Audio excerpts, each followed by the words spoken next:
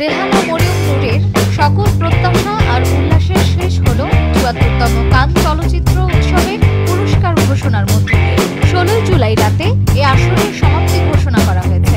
কিন্তু কোনো পুরস্কার জেতেনি Bangladesh team.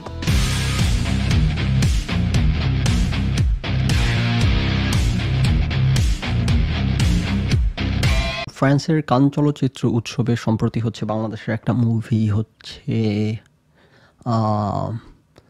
let me accurately say it nomination পাইছিল রাইট সো কান চলচ্চিত্রের উৎসব, এটার নাম প্রথম যখন শুনছি, তখন খুব হাসি পাইছিল যে এটা আবার কেমন নাম, কান। এখনও হাসি পায়। এখনও এই শব্দের সাথে পুরোপুরি অ্যাকাস্টমড হইতে পারি নাই। এটা একটা ইন্টারেস্টিং ব্যাপার। এই যে একটা কথা আছে না, যে এক দেশের গালি আর এক দেশের বুলি।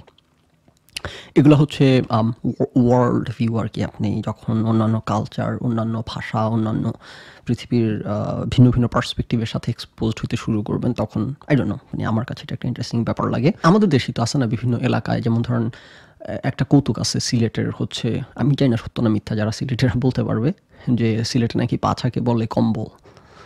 তো এক বাসে এক ভদ্র মহিলা উঠছে, ওনার হাতে একটা কম্বল ছিল লিটারালি তো উঠে বসছে পরে এক লোকের পাশে বসছে, তো ওই লোকের গায়ের উপরে কম্বলটা চলে আসতেছে। মানে পাছাটা না, কম্বলটা হ্যাঁ? তারপরে ওই লোক তার সিলেটিন ওই লোক বোঝেন ওই লোক বলছে যে, আপা, আপনার কম্বলটা একটু সরায় বসেন, আমার উপরে চলে আসতেছে।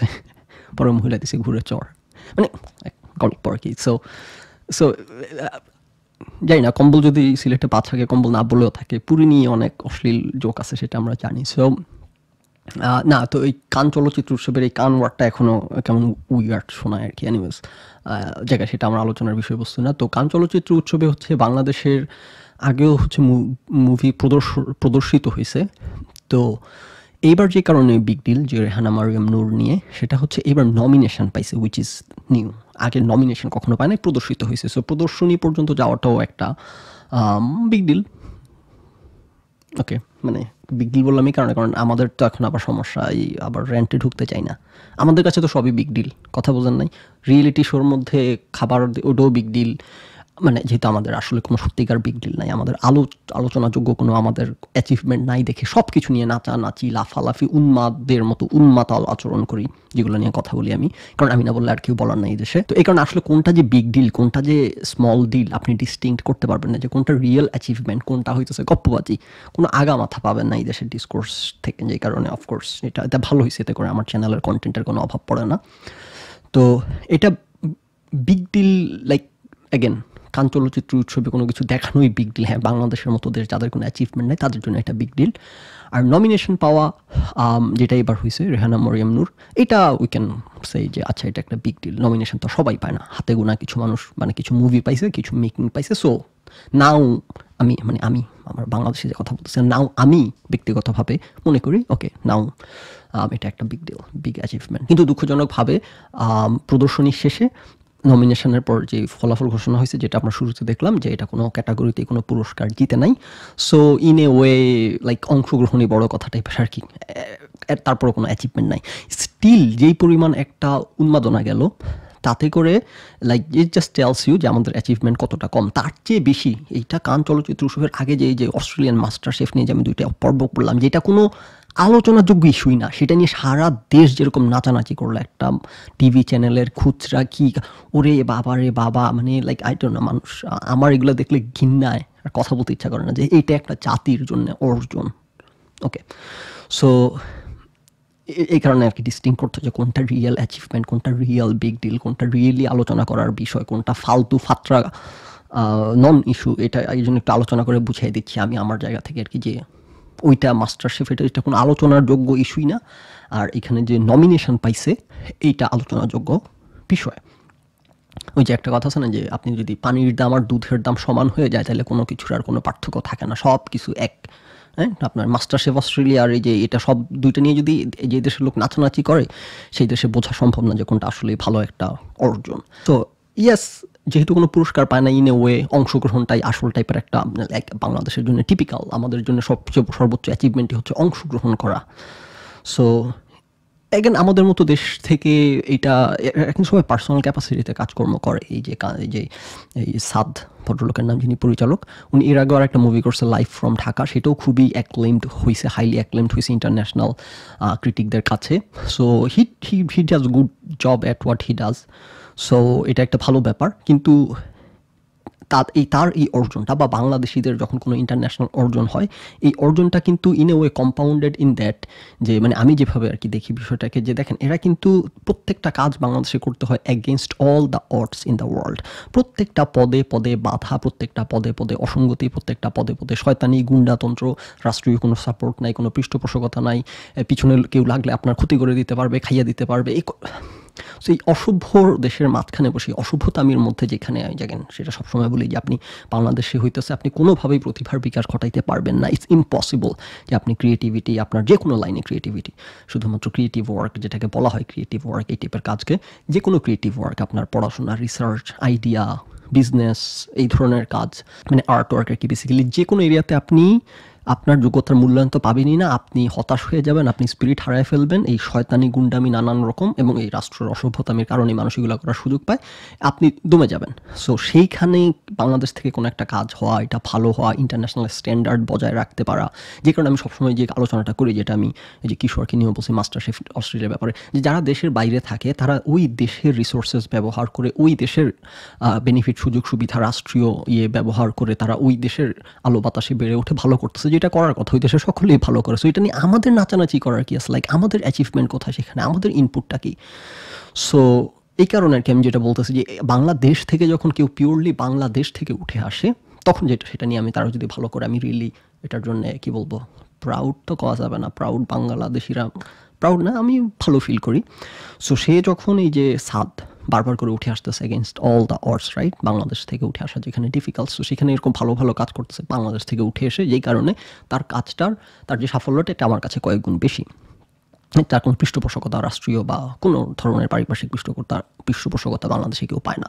এমনিতে ইন্টারন্যাশনাল স্ট্যান্ডার্ড যদি আপনি ধরেন বা ইন্টারন্যাশনাল স্ট্যান্ডার্ড না যে কোনো নর্মাল স্ট্যান্ডার্ড অনুযায়ী এটা আসলে কোনো অ্যাচিভমেন্ট না, একটা জায়গায় গিয়েছে, অংশগ্রহণ করছে নমিনেশন পাইছে বেটার ইয়েট নমিনেশন পাইছে অন্যান্য বানের তুলনায়। খুব বেশি আলোচনাযোগ্য কিছু না, আলোচনাযোগ্য পুরস্কার জিতলে একদম ফার্স্ট না হোক, কোনো না কোনো ক্যাটাগরিতে একটা দুটো পুরস্কার পেলে সেটা একটা আলোচনাযোগ্য বিষয় হইতে পারতো। কিন্তু বাংলাদেশের যে ব্যাকগ্রাউন্ড বললাম বাংলাদেশের বাস্তবতায় এটা একটা আলোচনাযোগ্য বিষয়, কারণ বাংলাদেশ থেকে এত দূর আসা সম্ভব না। ওইটা হইতেছে ওই সেন্সে ভালো। এবং আরেকটা ব্যাপার হচ্ছে, এটা একটা বেবি স্টেপ আপনি কোনো কিছুই তো আর ধরে হয়ে যাবে না। লাইক প্রথমবার এই ফারুকের মুভিগুলো যাইতো, তারপর সেগুলো জাস্ট প্রদর্শিত হইতো নমিনেশন পাইতো না। সো সেই ফারুকই সেটা শুরু করে দিয়ে গেছে। এখন আরেকজন এসে নমিনেশন পাইলো। নেক্সট আরেকজন হচ্ছে পুরস্কার পাবে। সো এটা কোনোটাই ফেল না না রাইট মানে পার্থক্যটা কোন জায়গাতে? যে আমার ইস্যু কোন জায়গাতে? বাংলাদেশিরা তো মনে করেন নাচানাচি শুরু করে দিবে যে এই যে যেটা যেই জায়গা সেটাকে সেই স্থানে রাখা। যে, ও আচ্ছা এটা কোনো অ্যাচিভমেন্টই না, আমরা জাস্ট এখানে একটা প্রদর্শিত হয়েছে okay fine no big deal এটা নিয়ে রাষ্ট্রীয়ভাবে উন্মাদের মতো করার আমরা সারা বিশ্ব অবাক, তাকিয়ে রয়ে ফাটাই ফেলতেছি, শোয়াই দিতেছি। এই উদ্ভট উন্মাতাল গর্ধবের মতো আচরণ করার তো প্রয়োজন নেই। না, ওকে, আমরা জাস্ট অতটুকু গেছি, সামনের বার হয়তো আরও ভালো করব, সেখানে কনভারসেশনটা রাখি, না। এরা ওইখানে কনভারসেশন রাখবে না, এরা একেবারে ফাটাই ফেলতেছে, সারা পৃথিবীকে উল্টায় ফেলতেছে রাইট সো ইস্যুটা হয়েছে ওই জায়গায়। সেটা যদি বাদ দিই, তাইলে অন ইটস ওন এটা একটা ভালো ব্যাপার যে আমরা একটা প্রেসিডেন্ট সেট করতেছি। সামনে কখনো না কখনো হয়তো পুরস্কার পাবো। এবং এই যে উৎসাহ মোটিভেশন যে আগে কেউ ভালো করলে সেটা দেখে পরবর্তীতে উৎসাহিত হয়, এটা একটা রিয়েল থিং আপনি ধরেন যে আমেরিকাতে যখন নাসার কোনো ইয়ে থাকে, কি বলে? নাসার কোনো মিশন থাকে, সেই মিশনগুলোকে যখন প্রচার করা হয় সেখানে এক সব সময় এরা কিছু বাচ্চা কাচ্চা রাখে, কিছু স্কুল থেকে school going kids high school পড়া পড়া ছেলে পেলে আনবে। তারপর নাসার হইতেছে যে ISS international international space station থেকে নাসা সায়েন্টিস্টরা সরাসরি লাইভ কথা বলে দু একটা বাচ্চার সাথেও কথা বলবে। সো এরা সবসময় সব কিছুর মধ্যে বাচ্চাদেরকে ইনভলভ রাখে, জানি নেক্সট জেনারেশনটা মোটিভেটেড হয় এবং নেক্সট জেনারেশনে বাচ্চা কাচ্চা উৎসাহিত হয় পড়াশোনা করার ব্যাপারে, এই কাজগুলো করার ব্যাপারে। কারণ ছোটোবেলায় আপনি যে জিনিসটা দ্বারা ইনফ্লুয়েসড হবেন এটা কিন্তু আপনার মধ্যে একটা প্যাশন তৈরি করে সো তারা এইভাবে এইসব দেশে তো সব লাইক ডিজাইন করে খুব সুন্দর করে মানে like always say there is a reason behind everything right এইসব দেশ কেন ভালো করতেছে? তারা একদম বাই ডিজাইন স্ট্রাকচার্ড ওয়েতে সব কিছু খুব সুন্দরভাবে করে, যেটা একজন বাংলাদেশ নিয়ে আবার কথা বলতে চাই না। বাংলাদেশ গেলে আপনি একদম সোগা মেরে গাছে তুলবে সব কিছু সো যেটা বলতেছিলাম যে পরবর্তী প্রজন্ম মোটিভেটেড হয়, এগুলো দেখে দেখে। এটা একটা ভালো ব্যাপার। এখন তো আবার আরিফার হোসেন চলে আসবে, যে যখন ইয়ে পাঠাইছিল কি, বাংলাদেশ স্যাটেলাইট পাঠাইছে আসপানে তখন আরিফার হোসেনের যুক্তি হইতেছে, খুব ভালো কাজ হয়েছে এতে করে পরবর্তী প্রজন্ম উৎসাহিত হবে, মুখস্থ মারছে বিদেশিদের আল্লাহ তো পরবর্তী প্রজন্ম উৎসাহিত হয়ে কী করবে?